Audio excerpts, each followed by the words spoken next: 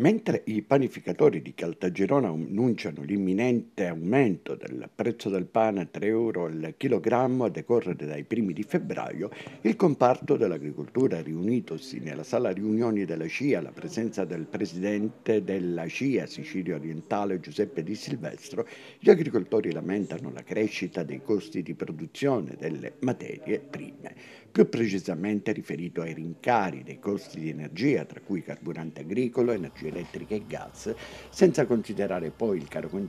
e le piaghe riconducibili alle calamità naturali e alle crisi di mercato. I costi di produzione nel settore agricolo sono diventati esorbitanti e quindi tutto assieme si vuole cercare con questa interlocuzione di suggerire quali sono anche le eh, potenziali proposte al mondo, eh, al mondo politico per far sì che le aziende agricole possano continuare a vivere economicamente perché oggi con i costi di produzione che abbiamo sicuramente non ci possiamo riuscire. Nella sala riunioni della CIA, con particolare riferimento alle produzioni agricole del Calatino, ulteriori lamentele giungono dai produttori di uva del consorzio IGP di Mazzarrone, dai cerealicultori e allevatori di bestiame. Un quadro, insomma, allarmante che il presidente della CIA, Sicilia Orientale, ha così sintetizzato nel corso del suo intervento. Noi abbiamo fatto come CIA Sicilia Orientale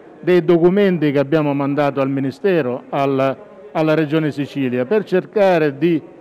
fare in modo che si intervenga per fermare questa bolla speculativa che c'è attualmente nelle campagne e in agricoltura in maniera particolare, ma non solo. Oggi i mercati con la pandemia eh, stanno rispondendo in maniera diversa rispetto al passato.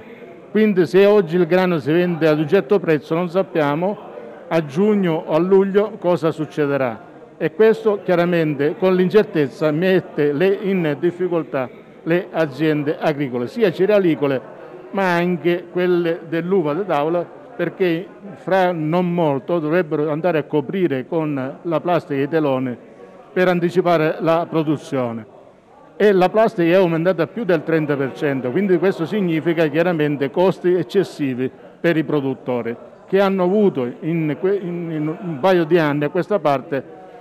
una crisi di commercializzazione che chiaramente li ha messo in grosse difficoltà.